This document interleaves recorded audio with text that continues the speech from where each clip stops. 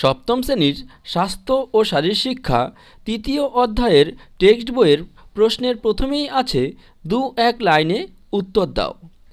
এক নম্বর প্রশ্ন আছে, প্রাথমিক চিকিৎসার জনক কে?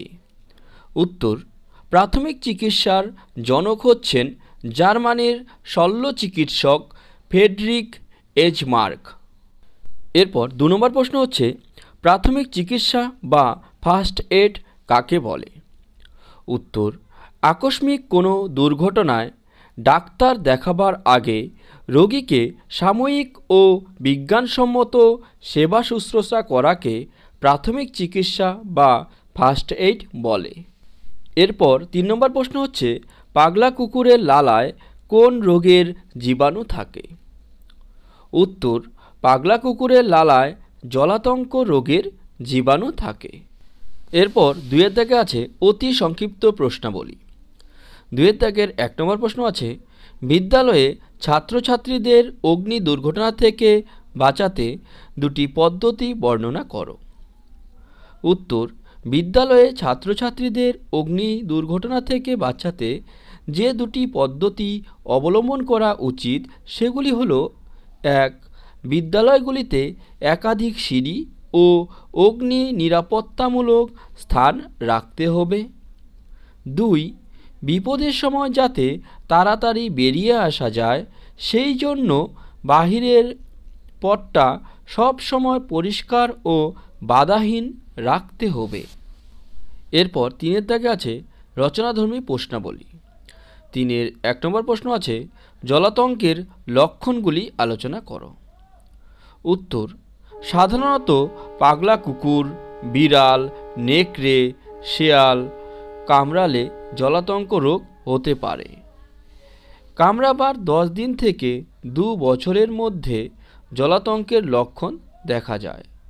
জলাতঙ্ক রোগের লক্ষণ হল জ্বর হওয়া, খিচুনি বা ফিট হয়ে যাওয়া ইত্যাদি। এরপর দু নম্বর প্রশ্ন হলো, পোশাক পরিচ্ছদে আগুন লাগলে মানুষকে কীভাবে সাহায্য করবে? উত্তর, পোশাক পরিচ্ছদে আগুন লাগলে লেপ, কাঁথা, কম্বল কিংবা চটের বস্তা জোরে চেপে ধরে আগুন নেভানোর চেষ্টা করব এবং জল ঢেলে আগুন নেভাবার চেষ্টা করব। এরপর তিন নম্বর প্রশ্ন হল, প্রাথমিক প্রতিবিধানকারীর গুণাবলী তালিকাভুক্ত করো। উত্তর প্রাথমিক প্রতিবিধানকারীর গুণাবলীগুলি হল এক, সাহস ও আত্মবিশ্বাস, দুই, প্রাথমিক চিকিৎসা সম্পর্কে সঠিক বিজ্ঞানসম্মত জ্ঞান, তিন, তীক্ষ্ণ পর্যবেক্ষণ শক্তি, চার, রোগীর অবস্থা বিচার ও বিশ্লেষণ করার ক্ষমতা, পাঁচ, দুর্ঘটনায় নিজেকে শান্ত রাখা, ছয়, রোগীকে সাহস প্রদান করা। সাত, শারীরিকভাবে সুস্থ ও সবল থাকা। এরপর চারের দাগে আছে শূন্যস্থান পূরণ করো। এক নম্বর শূন্যস্থান আছে প্রাথমিক চিকিৎসার জনক হলেন ড্যাশ। এটার উত্তর হবে ফেডরিক এজমার্ক এরপর দু নম্বর শূন্যস্থান আছে পাগলা কুকুরে কামড়ালে ড্যাশ রোগ হয়। এখানে লিখবে জলাতঙ্ক রোগ হয়। এরপর তিনের দাগে আছে, সঠিক উত্তরটি নির্বাচন করো।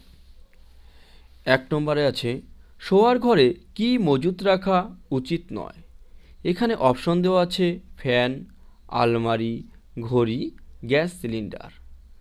এখানে সঠিক উত্তর হবে, গ্যাস সিলিন্ডার। তার মানে শোয়ার ঘরে গ্যাস সিলিন্ডার মজুত রাখা উচিত নয়। এরপর দু নম্বর আছে, জলাতঙ্ক রোগীদের কি খেতে ভয় হয়। এখানে অপশন দেওয়া আছে মিষ্টি, ফল, জল সব কিছুই খেতেই। এখানে সঠিক উত্তর হবে জল। তার মানে জলাতঙ্ক রোগীদের জল খেতে ভয় হয়। এরপর তিন নম্বরে আছে আগুন জ্বললে কি গ্যাস উৎপন্ন হয়? এখানে অপশন দেওয়া আছে অক্সিজেন, নাইট্রোজেন, সিলিকন, কার্বন। এখানে সঠিক উত্তর হবে কার্বন, অর্থাৎ আগুন জ্বললে কার্বন গ্যাস উৎপন্ন হয়।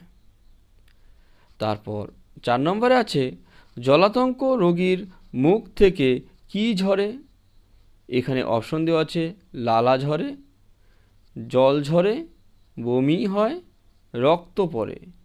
এখানে সঠিক উত্তর হবে, লালা ঝরে, অর্থাৎ জলাতঙ্ক রোগীর মুখ থেকে লালা ঝরে।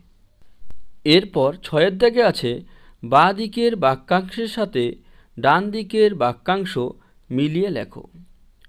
বাঁ দিকে এক নম্বরে আছে জলাতঙ্ক। এটা হবে বি নম্বরটা পাগলা কুকুরে কামড়।